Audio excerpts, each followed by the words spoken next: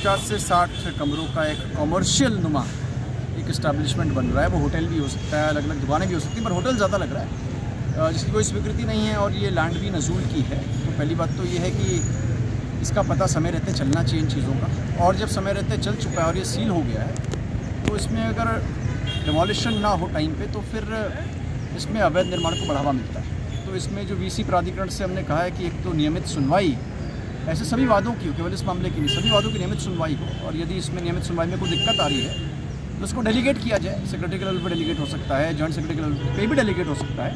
आ, लेकिन इनमें सुनवाई हर हफ़्ते होनी चाहिए और इसमें आदेश भी जल्दी जल्दी आने चाहिए।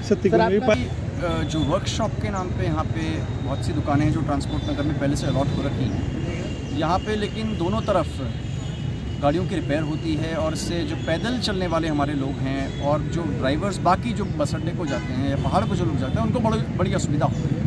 इसमें तीन चार बार अतिक्रमण अभियान चलाया गया, पुलिस से भी डायरेक्शन दिए गए लेकिन इस पर कोई प्रभावी इसमें परिणाम इसके नहीं आ रहे तो इसमें अब ये कहा गया कि चलान करते हुए ऐसी कुछ शॉप्स हैं, इनको सील दी थैंक यू